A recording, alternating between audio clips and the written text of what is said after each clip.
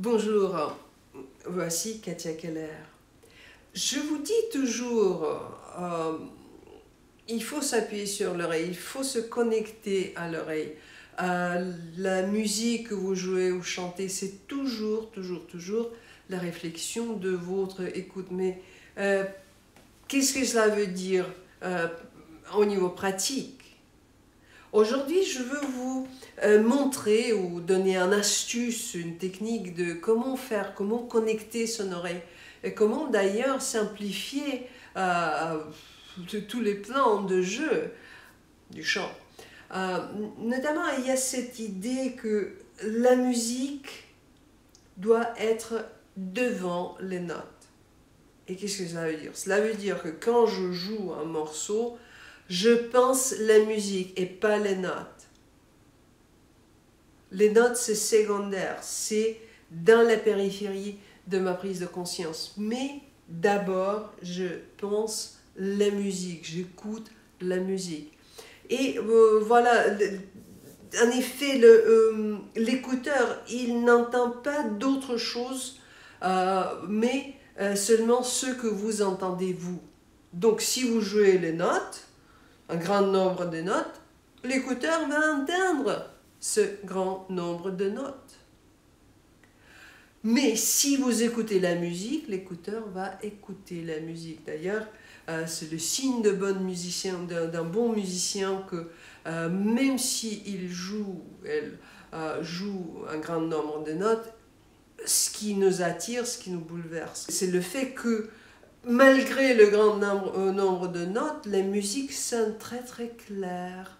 Euh, euh, il y a beaucoup de silence, il y a beaucoup de tranquillité, et ça, ça va pour tous les morceaux, même des morceaux rapides, même des morceaux virtuoses, même des morceaux avec beaucoup, beaucoup, beaucoup de choses qui se passent. Mais en même temps, il y a cette clarté incroyable. comment est-ce qu'on peut, peut faire créer cette, cette clarté, connecter son oreille?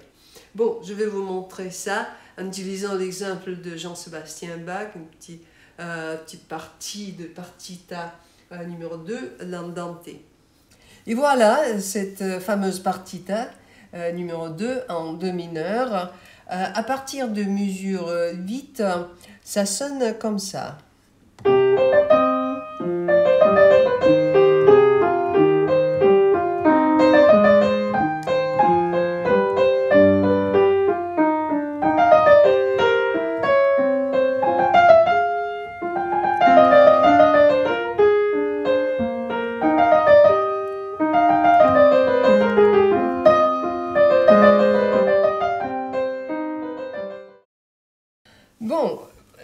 Entend cette musique et, il y a certainement il y a beaucoup de notes.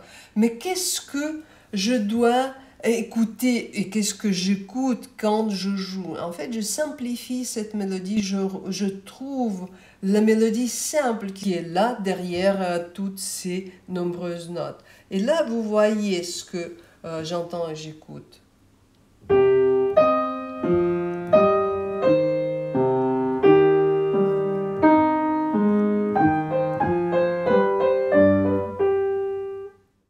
Voilà, cette mélodie,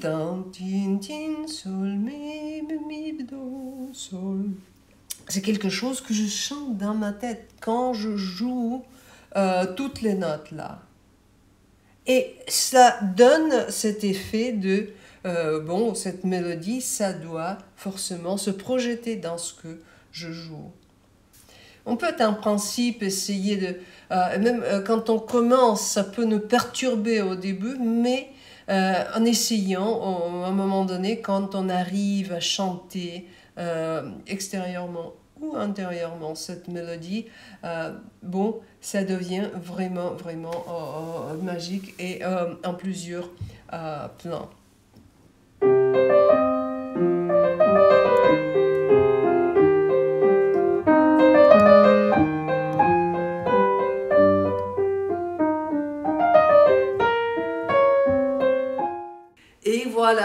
C'est comme ça qu'on arrive à simplifier le texte sans simplifier la musique. En effet, on ajoute l'oreille. Hein. Quand je joue, j'écoute notamment cette mélodie simple, cette mélodie claire, euh, bien sûr que mon oreille externe euh, entend toutes les notes que je joue, je sais ce que je fais, mais en moi, il y a cette voix interne, si vous voulez, qui chante cette mélodie, et cela donne notamment, ça met la musique en relief. Ça met la musique dans la clarté, dans la tranquillité, parce que cette mélodie, elle est beaucoup plus tranquille que le nombre de notes euh, qu'on joue. Et c'est pas seulement Jean-Sébastien Bach, c'est pas seulement, pour le, le piano que cette, cette idée marche. En fait, c'est une idée, c'est la loi universelle. C'est la loi universelle. Et même euh, peut-être avec des instruments comme piano, accordéon et euh, euh, harpe, là où on peut jouer plusieurs notes à la fois, peut-être parfois c'est plus facile de trouver les notes clés parce qu'on a les, indications des harmoniques, etc.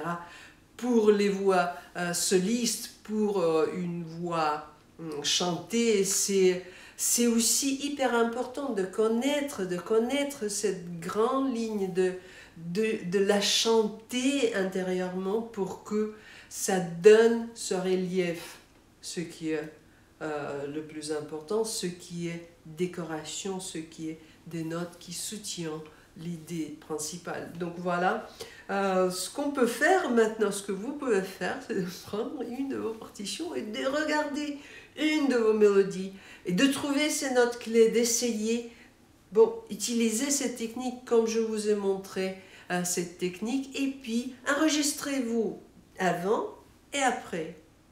Et entendez la différence. Ce relief dont je parle, c'est vraiment euh, un pas vers le haut, euh, c'est vraiment un degré de plus dans votre maîtrise et dans votre, votre jeu. Donc je vous dis bonne inspiration, bon, bonne trouvaille pour vos musiques.